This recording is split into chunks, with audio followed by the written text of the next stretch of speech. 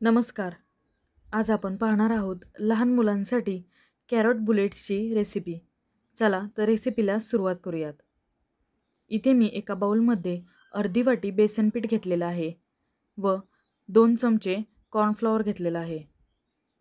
मीठ आपण चवीनुसार ॲड करणार आहोत व आता आपण हे व्यवस्थित मिक्स करून घेऊयात. आता इथे मी एक कप साल काढून बारीक किसून घेतलेलं गाजरचा किस ॲड केलेला आहे.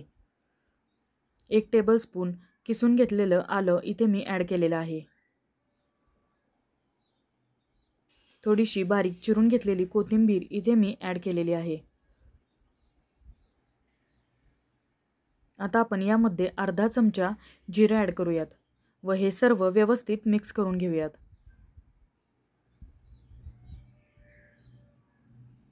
सर्व ड्राय इन्ग्रेडियंट्स आपण व्यवस्थित मिक्स करून घेणार आहोत.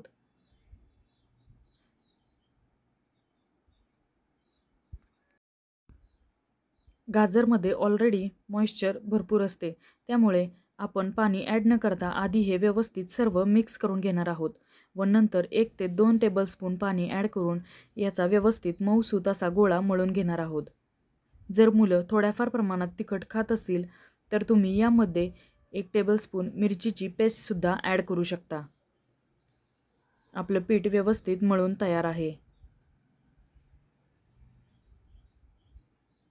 आता आपण हाताला तेल लावून याचे बुलेट्स तयार करून घेऊयात. व्हिडिओत दाखवल्याप्रमाणे आपल्याला छोट्या साईजमध्येच याचे बुलेट्स तयार करून घ्यायचे आहेत.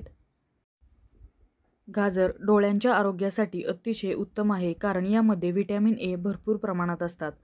तसेच यामध्ये बीटा कॅरोटीनसुद्धा आणि अँटीऑक्सिडंटसुद्धा भरपूर प्रमाणात असतात. गाजरमुळे लहान मुलांचे दात आणि हाडे मजबूत होण्यास मदत होते. आपले बुलेट्स एकदम तयार आहेत. इथे मी एका कढईमध्ये तेल गरम करायला ठेवलेलं आहे. तेल गरम झाल्यावर आपण यामध्ये सर्व बुलेट्स ॲड करूयात. व आपल्याला हे बुलेट्स एक सात ते आठ मिनिटं मीडियम फ्लेमवर गोल्डन ब्राऊन होईपर्यंत व्यवस्थित तळून घ्यायचे आहेत. ही रेसिपी तुम्ही लहान मुलांना टिफिनमध्ये सुद्धा देऊ शकता. तसेच दुपारी लंचमध्ये किंवा रात्री डिनरमध्ये सुद्धा देऊ शकता. जर तुम्हाला ही रेसिपी आवडली तर प्लीज लाईक करा शेअर करा. सातारकर माधुरी या यूट्यूब चॅनेलला सबस्क्राईब करा. जेणेकरून तुम्हाला अशाच पौष्टिक व नवनवीन रेसिपी तुमच्या मुलांसाठी पाहता येतील. आपले बुलेट्स एकदम रेडी आहेत. चवीलासुद्धा हे अतिशय अप्रतिम लागतात.